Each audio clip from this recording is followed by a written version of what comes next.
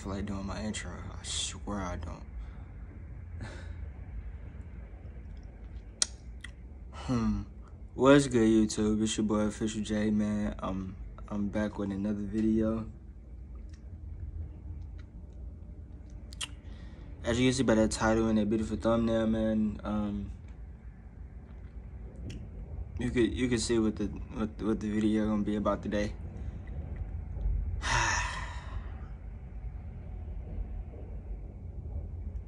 Yeah, I don't I don't feel like doing this video, but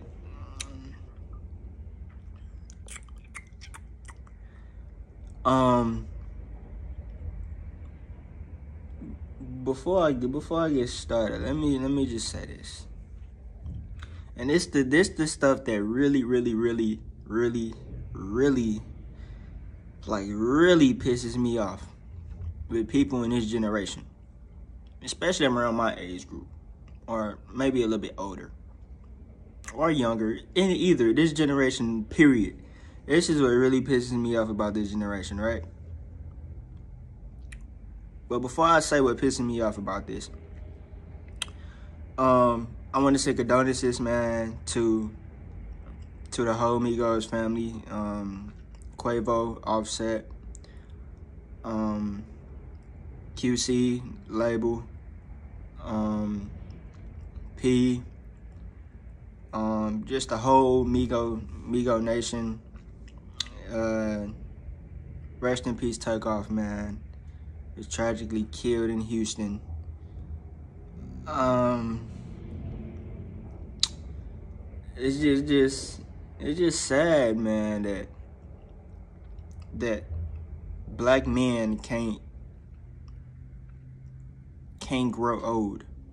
It's it's just sad. That's it's just it's just totally totally sad, right?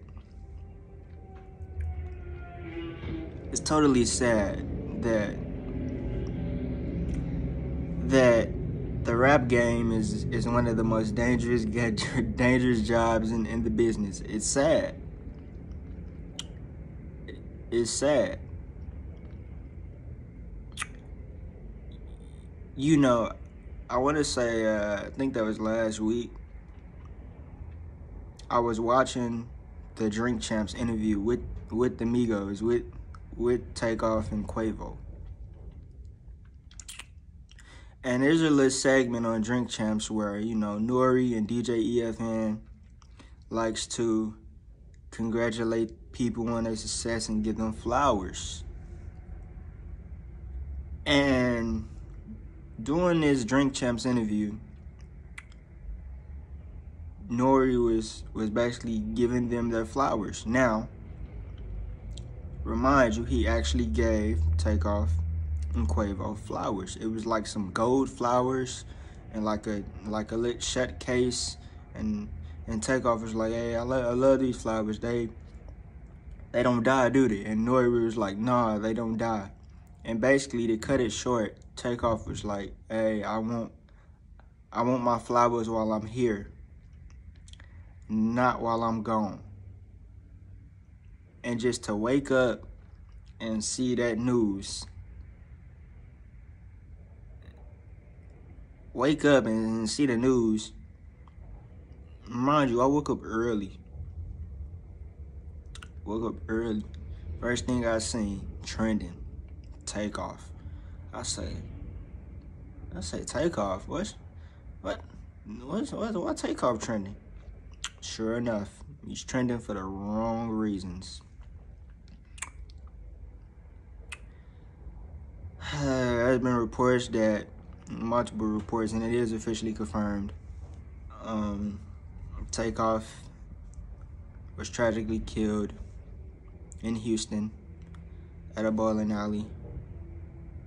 Um, from what I'm hearing, it was over a dice game. Something simple as a fucking dice game.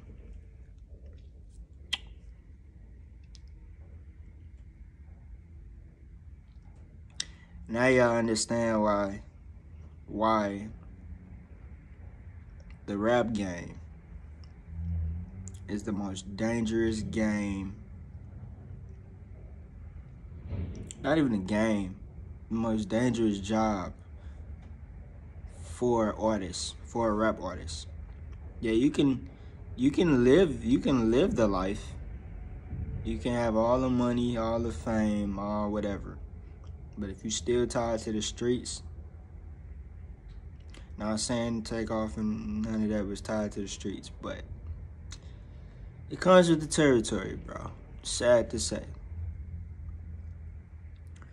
But back to the thing that I said earlier about what pisses me off about this generation.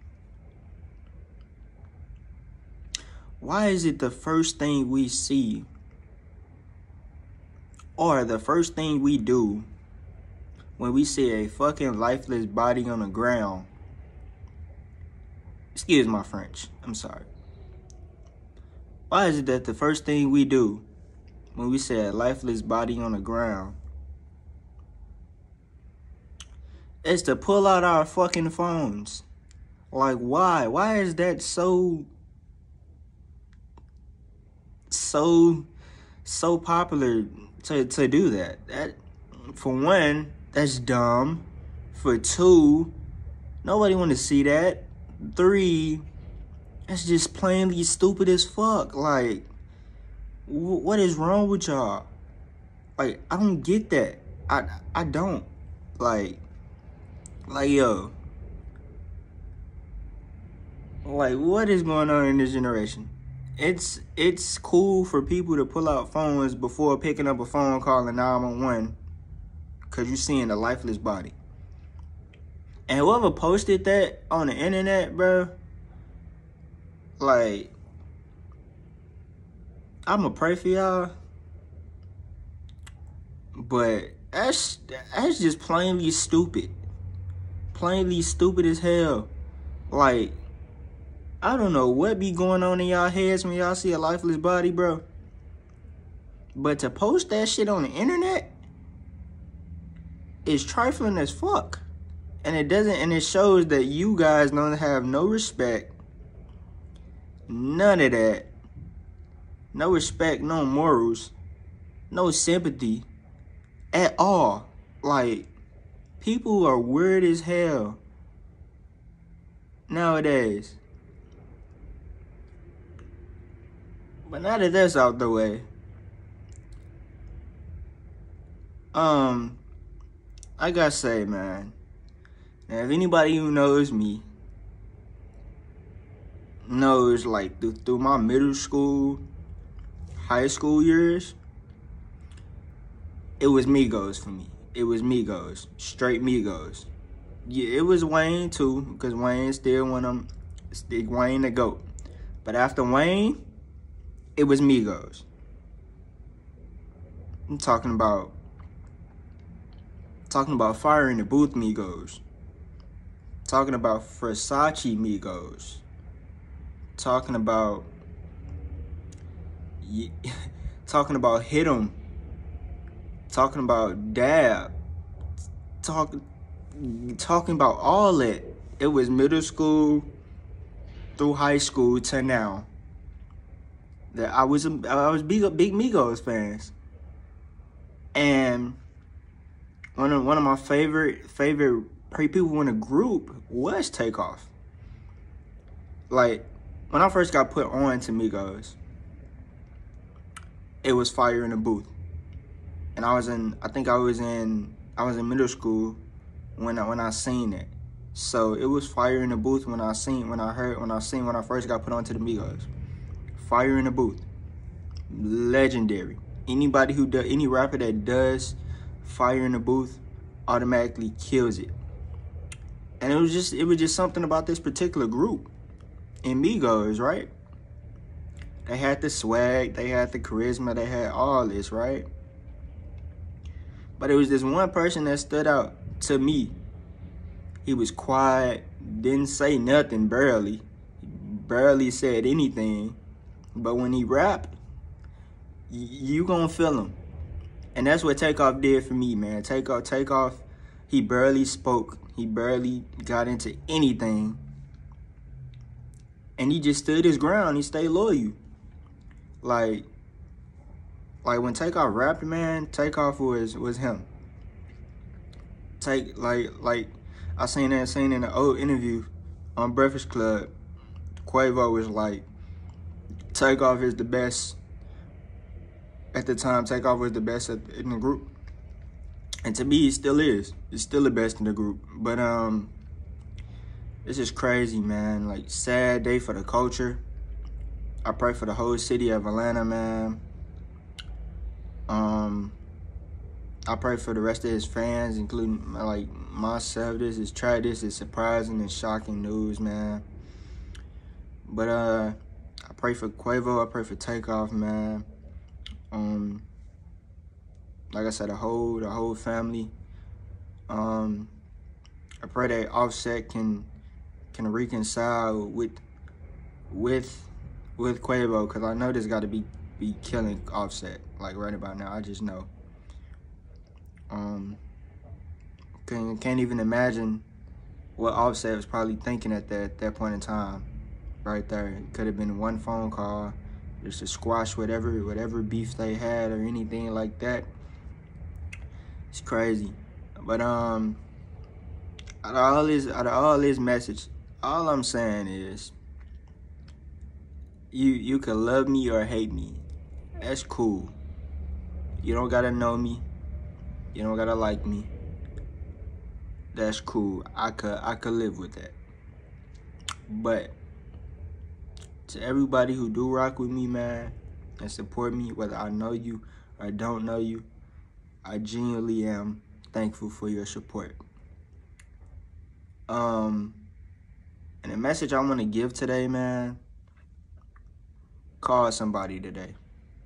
Simply love somebody today, for real. Squash all that beef shit. Squat, mend all the fences. Life is too short. Life is too short. Squash all that beef shit. Just squash it. Life is life is too short. Life is too short. Pick up the phone, call somebody. I don't care if they got you blocked. Figure out a way to reach out to them. Send a message through somebody. Apologize. I think in this generation, man, us men and women are, especially for men, our egos are too are too big at times to to even reach up, pick up the phone and say, hey, I'm sorry. Some some for same for the women. Women are too prideful to to pick up the phone and put their beef aside and and say, hey, I was wrong, I apologize, I'm sorry. This generation is so fucked up, man, that we don't realize that we can be the death of our own people at times. So, um, yeah, that's the that's the message for me, man. Pick up the phone, call somebody, love somebody, right your wrongs, and try to stay on that narrow path, man. Cause life is short. Life is short. Um, it's a new month. Um, wishing blessings positivity, good good health all across the board to every everybody across the world, man. Um, again, man. Uh, rest in peace, Takeoff, man. It's, it's still one of my favorite Migos. Still one of my favorite members of the Migos. Um, Migos as a whole, one of the greatest groups there is. No, I, like I said, Migos is still one of the greatest groups there is. Um, and yeah, that's all for today's video, man. Uh, like, comment, and subscribe. Turn on post notification bell. Um, and again, love somebody today, hug somebody today, kiss on somebody today. Cause you you just never know. So, um, hope y'all enjoy the rest of y'all day, man. Um, and just yeah, that's all I had to say. Um, I'm gonna be considering me that I'm a big, huge Migos fan. I'm I'm gonna be I'm, I'm gonna be respectfully bumping all Migos today. So yeah, man, like, comment, and subscribe. Turn on post notification bells, man. And yeah we gonna continue to grow and love on each other, man. Positivity all across the world. And yeah, sad day for the culture today, man, for real. But I'll see y'all in the next video, man. I'm out. Peace.